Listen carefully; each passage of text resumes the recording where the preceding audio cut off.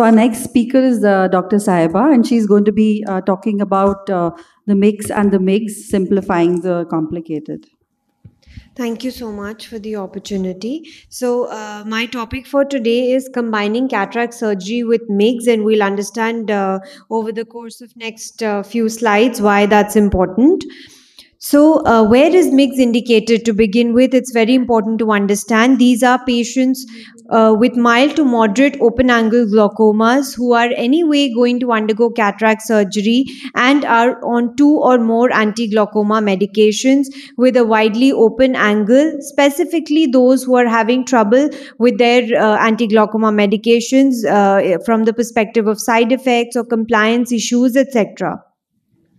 The options available to us in India are uh, bent ab interno needle goniotomy, gonioscopic assisted transluminal trabeculotomy, the iStent implants, trabectome, and Kahook dual blade. The aim of MIGS procedure is to reduce the intraocular pressure or the anti-glaucoma medication burden when combined with phacoemulsification for glaucoma patients. And time and again, studies have proved that clinical outcomes compared to phaco alone or phaco with MIGS is much more substantial.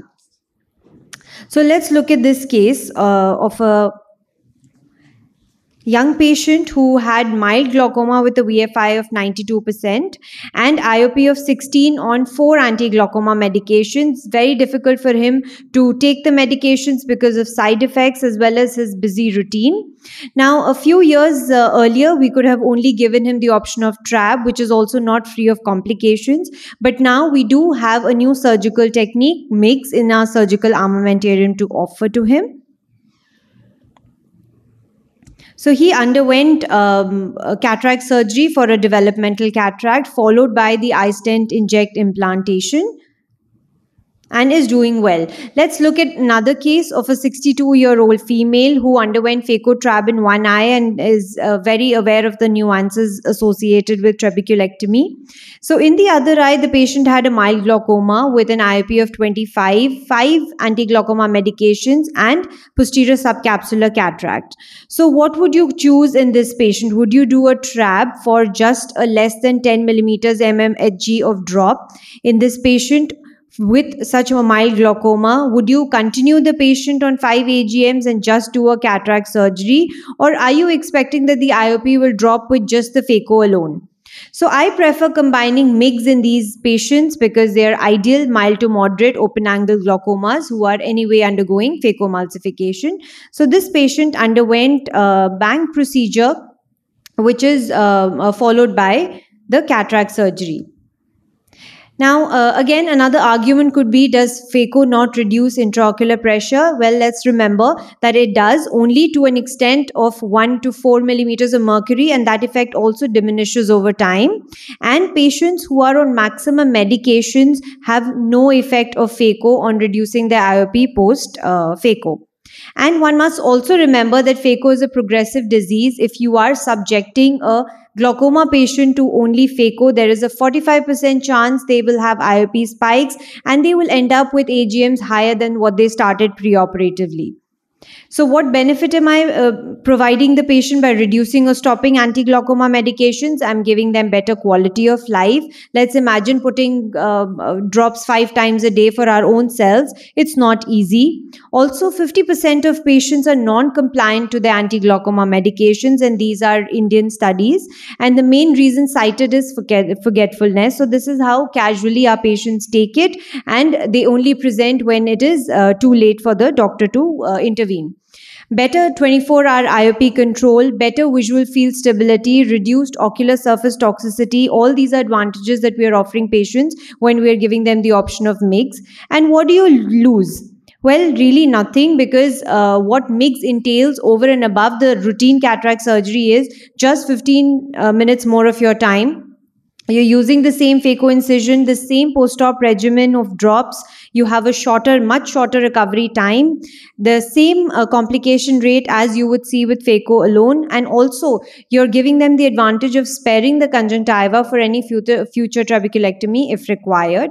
While the overhyped, um, the uh, the reason that cost overhype reason why MIGS is not popular is uh, cost, which is quoted. Uh, well, even while using AGMs, a patient is using 7.7% per annum income of the family just in purchasing anti-glaucoma medications every month. And let's remember, this is a recurrent cost for the rest of their lives, vis-a-vis a one-time payment, which is also very well covered under insurance now. So, in summary, while topical anti-glaucoma medications have a favorable safety profile, they have only a moderate success in lowering IOP, and it is dependent on adherence, which is as low as 50%. So, MIGS has the potential of adequately reducing the intraocular pressure of patients who are undergoing cataract surgery in glaucoma. Thank you so much. Thank you very much, Dr. Saiba. Dr. Saiba, can you tell us what is the follow-up of these patients, like uh, when they get this combined uh, procedure done? Uh, how long do you think the effectivity of the MIGS is going to be there? I mean, like, is there rather? Okay, uh, so now the follow up protocol is uh, uh, first post op day, one week, and then one month, and then three months. Of course, uh, unless there is uh, some other problems that you're expecting. Now, this follow up also changes with different techniques of MIGS. You will have to have a more frequent follow up when you're using uh, less sophisticated methods like Bang and uh, next comes KDB. The iStent uh, implants are way more sophisticated, so that uh, the post op uh, follow ups and recovery is much faster.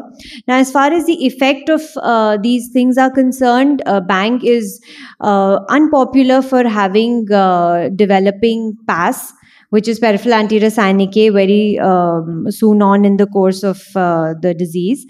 Uh, KDB is a little more sophisticated because it has a cleaner uh, cut of the trabecular meshwork. So again, uh, and iStent, of course, uh, we have published studies of uh, as long as five years of doing uh, well.